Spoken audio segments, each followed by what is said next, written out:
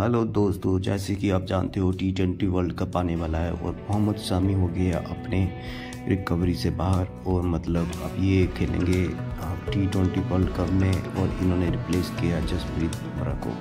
तो अभी ये खेलते हुए दिखेंगे हमें मैच में। तो हम होप करते हैं कि ये अच्छी तरह से टी ट्वेंटी वर्ल्ड कप में खेलेंगे और इंडिया को अच्छी तरह से जीत दिलवाएँगे।